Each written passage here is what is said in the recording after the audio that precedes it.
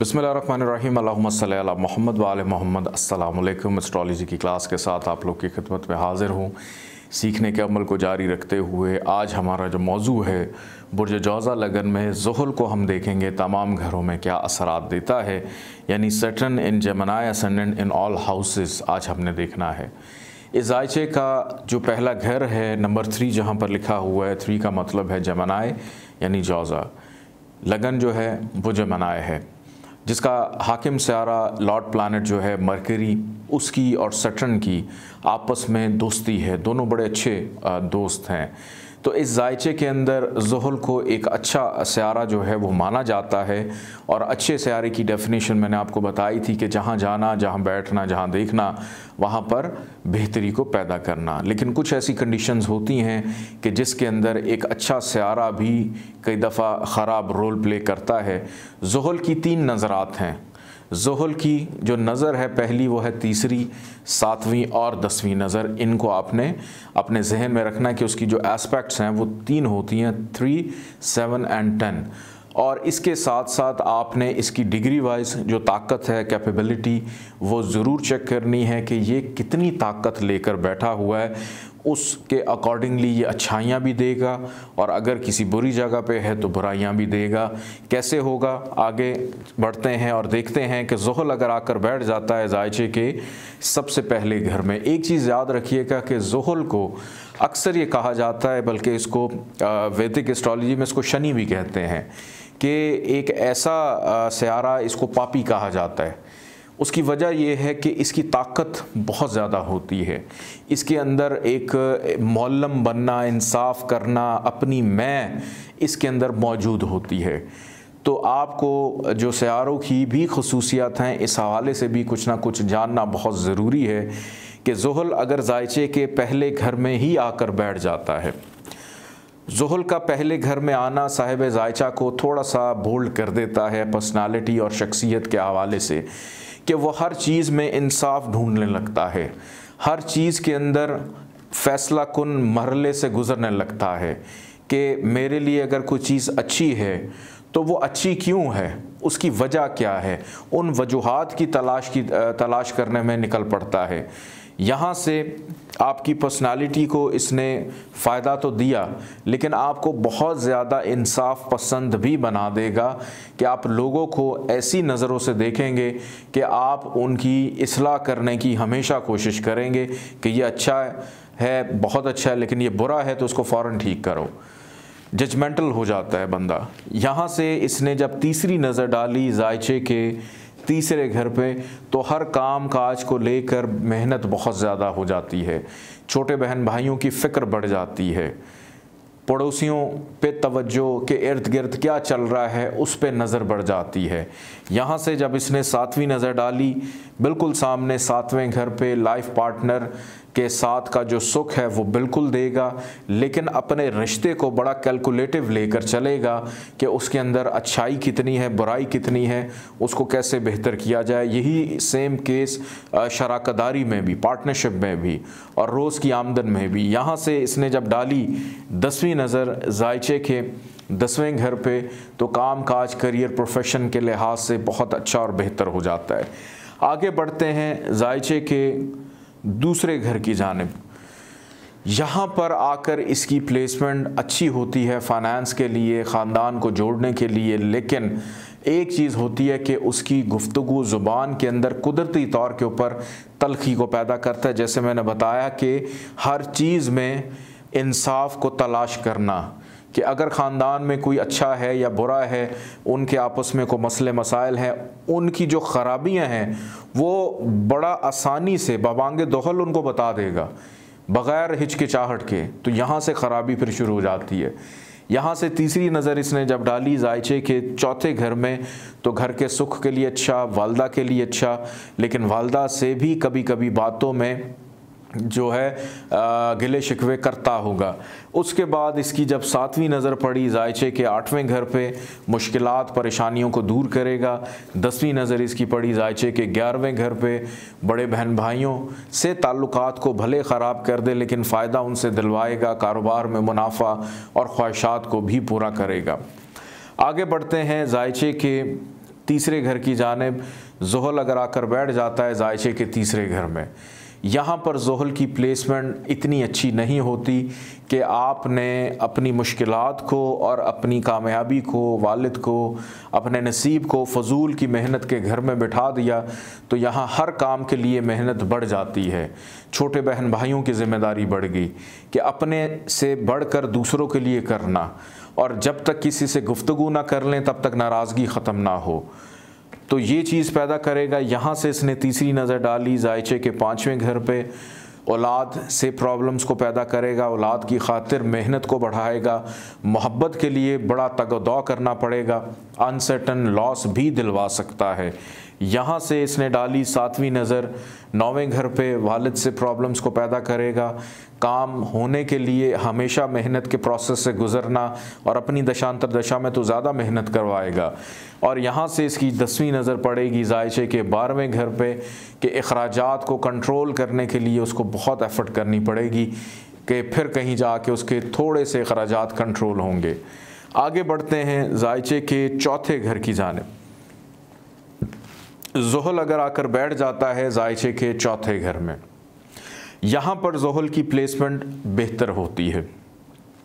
घर का सुख दिलवा देगी अच्छा घर दिलवा देगी, कि अच्छे घर में रहना उसका नसीब बन जाएगा। अच्छी गाड़ी, अच्छी सवारी, घर की हर लग्जरी चीज़ उसके पास मौजूद होगी, लेकिन वही बात के वालदा के साथ गिले शिकवे उसके लगे रहेंगे कि जो रिलेशनशिप्स हैं उसमें ज़रूर कहीं ना कहीं ये प्रॉब्लम्स को पैदा करेगा। यहाँ से इसने तीसरी नज़र डाली, जायचे के छठे घर में बीमारियों को दूर करेगा। कर्ज से दूर रखेगा, कानूनी मामलात में हमेशा फ़ायदा दिलवाएगा। यहाँ से इसकी सातवीं नज़र पड़ी, जायचे के दसवें घर पे। काम काज, करियर प्रोफेशन के लिए बेहतर हो गया। यहाँ से इसकी दसवीं नज़र पड़ी, जायचे के पहले घर में, कि आपकी अपनी ज़ात, शख्सियत के लिए बहुत बेहतर हो जाता है। आगे बढ़ते हैं, जायचे के पाँचवें घर की जानब। जहल अगर आकर बैठ जाता है, जायचे के पाँचवें घर में। यहाँ पर जहल की प्लेसमेंट बहुत अच्छी हो जाती है कि मोल तरकोन का मालिक मोल तरकोन में आ गया और यहाँ पर जहल को शर्फ भी मिलता है। जहल के पास दो घर हैं, एक आठवां और एक नौवां घर। और मोल तरकोन में आने की वजह से जहल की अफादियत बढ़ जाती है। यहाँ पर इसको शर्फ मिला। मोहब्बत में आसानी अनसर्टेन गेन ऐसे बंदे के इनामी स्कीमों में हिस्सा ले, उसके इनाम बहुत निकलते होंगे। औलाद का सुख मिलेगा। यहाँ से तीसरी नज़र इसकी पड़ी जायचे के सातवें घर में मोहब्बत की शादी करने का योग बन गया कि इसकी शादी मोहब्बत की हो सकती है और बसानी हो सकती है। यहाँ से इसकी सातवीं नज़र पड़ी जायचे के ग्यारहवें घर पे ख्वाहिशात, मुनाफा, दोस्तों से फ़ायदा, समाजी ताल्लुक सियासी ताल्लुक में फ़ायदा और इसकी दसवीं नज़र पड़ी जायचे के दूसरे घर में कि औलाद होने के बाद इसके फाइनेंस में भी इजाफा होना शुरू हो जाएगा कि इसके ख़ानदान में एक एक ज़बरदस्त पैमाने पर इजाफा भी होगा। आगे बढ़ते हैं जायचे के छठे घर की जानब। यहाँ पर अगर जहल आकर बैठ जाए, यहाँ पर जहल की प्लेसमेंट अगर लगन का मालिक अच्छा है अतारत पूरे जायचे में कहीं पर भी अच्छी पोजीशन लेकर बैठा है। जहल के पास चूँकि एक नहस घर भी है, यहाँ पर जहल पर एक कंडीशन अप्लाई होती है, जिसे कहा जाता है विपरीत राजयोग, के कर्ज, मर्ज, नौकर, नौकरी, बीमारी, मायूसी, कानूनी मामला इन तमाम चीज़ों से आपको बेहतर हालत में रखेगा, ख़राबी नहीं देगा। लेकिन अगर अतारत ख़राब हो जाए तो फिर सारी की सारी प्रॉब्लम्स पैदा करेगा। मुश्किलात भी देगा, कर्ज भी बढ़ा देगा, बीमार भी करेगा। हर काम में रुकावट। वालिद को भी बीमार कर दिया। यहाँ से इसने तीसरी नज़र डाली। अपने ही घर को तो बुरी नज़र से देख रहा है, अगर विपरीत राजयोग नहीं है तो। आठवें घर में प्रॉब्लम यहाँ से इसने सातवीं नज़र डाली जायचे के। बारहवें घर पे इमिग्रेशन में प्रॉब्लम अखराज में इजाफा। दसवीं नज़र इसकी पड़ी जायचे के। तीसरे घर में फजूल की मेहनत को बढ़ाएगा। अगर विपरीत राजयोग है तो फिर कुछ अपना हाथ कंट्रोल करके रखेगा, ख़राबियाँ पैदा नहीं करेगा। आगे बढ़ते हैं, जायचे के सातवें घर की जानब जहल अगर आकर बैठ जाता है, जायचे के सातवें घर में। यहाँ पर जहल दिशा बली होता है डायरेक्शनल स्ट्रेंथ में होता है। और यहाँ पर जहल की प्लेसमेंट अच्छी मानी जाती है कि यहाँ पर शरीक हयात का सुख और बड़ी समझदार किस्म का एक लाइफ पार्टनर मिलता है। शराकतदार बहुत ज़बरदस्त मिलता है। आपके लिए हर चीज़ और फैसला दुरुस्त करने वाला होता है। यहाँ से तीसरी नज़र डालेगा, जायचे के नौवें घर में अपने ही घर को देखेगा तो शादी के बाद आपके नसीब को भी खोल देगा। सातवीं नज़र इसने डाली, जायचे के पहले घर में कि शादी के बाद आपकी अपनी शख्सियत को भी बेहतर करेगा। यहाँ से इसने डाली दसवीं नज़र जायचे के चौथे घर में कि शादी होने के बाद या शराकतदारी के बाद या दूसरे बच्चे के बाद ऐसे शख्स का अपना ज़ाती घर बसानी बन जाएगा। आगे बढ़ते हैं जायचे के आठवें घर की जानब के आठवें घर में अगर जहल अपने ही घर में आकर बैठ जाता है और लगन का मालिक अच्छा हो, अतारत तो यहाँ पर जहल को विपरीत राजयोग मिलेगा। कि अच्छी कंडीशन में चला गया मुश्किल आसानियाँ, कोई दिक्कत, परेशानी ज़िंदगी में अपनी दशांतर दशा में नहीं देगा। और अगर विपरीत राजयोग नहीं है तो फिर इन तमाम अच्छाइयों को बुरा भी कर देगा। और यहाँ से जब डालेगा तीसरी नज़र तो करियर में स्टेबिलिटी नहीं देगा। यहाँ से डालेगा सातवीं नज़र, फाइनेंस में प्रॉब्लम, ख़ानदान में प्रॉब्लम। यहाँ से इसने जब डाली दसवीं नज़र, पाँचवें घर पे तो औलाद होने में प्रॉब्लम कि आठ साल तक शादी के बाद औलाद पैदा नहीं होगी। इतनी तवील हो जाती है औलाद की ख्वाहिश का पूरा होना। आगे बढ़ते हैं, जायचे के नौवें घर की जानब के जहल अगर आकर बैठ जाता है। नौवें घर में, अपने ही घर में, ओन साइन में और मूल तरकोन में आकर बैठ गया। बहुत अच्छा हो गया कि ऐसा इंसान अपने वालिद के लिए पैदाइश के फ़ौर बाद एक अच्छा नसीब लेकर पैदा होता है। आसानी, अपनी ज़ात के लिए भी आसानी, मज़हब का बहुत कटर किस्म का मानने वाला। रूहानियत के शौक़ में उसका हमेशा दिलचस्पी उसकी रहेगी। आला तालीम हासिल करेगा, बैरून मुल्क सफ़र करता रहेगा, काम काज, करियर, कारोबार के लिए। यहाँ से तीसरी नज़र डालेगा, जायचे के ग्यारहवें घर में, मुनाफे के घर में अच्छे दोस्त बनेंगे, ख्वाहिशात पूरी होंगी। सातवीं नज़र तीसरे घर में मेहनत का सिला मिलेगा और यहाँ से दसवीं नज़र डालेगा, जायचे के छठे घर में नौकरी मिलने में आसानी, बीमारियों से दूर रखेगा, कर्ज में मुबतला नहीं होने देगा। आगे बढ़ते हैं, जायचे के दसवें घर की जानब जहल अगर आकर बैठ जाए, जायचे के दसवें घर में। यहाँ पर जहल बहुत अच्छा होता है काम काज करियर प्रोफेशन के हवाले से। मुस्तकिल मिजाजी देता है, इज़्ज़त देता है, शहरत देता है। तीसरी नज़र डालेगा जायचे के बारहवें घर पे कि काम काज करियर को उठाकर बैरून मुल्क रख दिया कि बैरून मुल्क काम काज के लिए आता जाता होगा या बाहर रहता होगा। फाइनेंशली तौर पे अखराज पे कंट्रोल पैदा करेगा। और यहाँ से सातवीं नज़र इसने डाली जायचे के चौथे घर में कि अपनी दशा में अपने काम काज करियर प्रोफेशन के थ्रू अपना घर ज़रूर बना लेगा। यहाँ से इसने डाली दसवीं नज़र जायचे के सातवें घर में शरीक हयात से फ़ायदा दिलवाया। और आगे बढ़ते हैं जायचे के ग्यारहवें घर की जानब के जहल अगर आकर बैठ जाता है जायचे के ग्यारहवें घर में। यहाँ पर जहल सबसे वर्स्ट पोजीशन में चला जाता है। क्यों? क्योंकि यहाँ पर जोहल को हबूत मिलता है, नीच का हो जाता है डिबिलिटेशन में चला जाता है।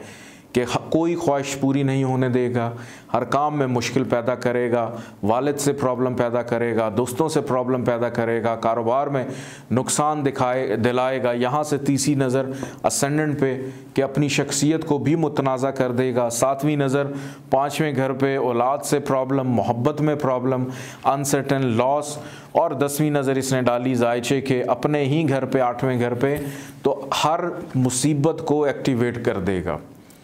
आगे बढ़ते हैं जायचे के बारहवें घर की जानब के अगर जहल आकर बैठ जाता है जायचे के बारहवें घर में। यहाँ पर जहल की प्लेसमेंट अगर असेंडेंट का मालिक मरकरी पूरे जायचे में अच्छा है। तो यहाँ पर जहल को विपरीत राजयोग मिलता है कि ख़र्चा, मायूसी, तन्हाई, बीमारी पे होने वाला ख़र्चा उसमें प्रॉब्लम नहीं देगा, फ़ायदा देगा, इमिग्रेशन में आसानी देगा, बैरून मुल्क सेटलमेंट करवा देगा। लेकिन अगर मरकरी ख़राब है तो इन तमाम अच्छाइयों को ख़राब कर देगा। तीसरी नज़र डालेगा फाइनेंस बिगाड़ेगा, ख़ानदान में प्रॉब्लम सातवीं नज़र बीमार कर दिया और इसकी दसवीं नज़र वालद से प्रॉब्लम और नसीब का भी इसने खाना ख़राब कर दिया। अगर विपरीत राजयोग नहीं है तो। इस पूरे जायचे में आप जहल का नगीना नीलम लेकर पहन सकते हैं। कहीं पर भी मौजूद हो, आप इसका इस्तेमाल कर सकते हैं। कहीं से मुराद मेरी है, अच्छे घर, अच्छी प्लेसमेंट अगर जोहल तीसरे घर में है छठे घर में है, आठवें घर में है, ग्यारहवें में है और बारहवें में है। चाहे विपरीत राज जो क्यों ना लगाओ तो आपने इसका नगीना लेकर नहीं पहनना। सिर्फ़ एक कंडीशन है कि अगर जोहल कम्बस्ट हो जाए, गरूबियत का शिकार हो और इन ख़राब पोजीशन पर भी मौजूद हो तो फिर आप उसको एक्टिव करने के लिए उसका नगीना लेकर पहन सकते हैं। इस जायचे में इन ख़राबियों के अलावा कहीं पर भी जोहल मौजूद है तो आप उसका नगीना बिल्कुल लेकर पहन सकते हैं। अपना ख्याल रखिएगा, इजाज़त दें, अल्लाह हाफिज़।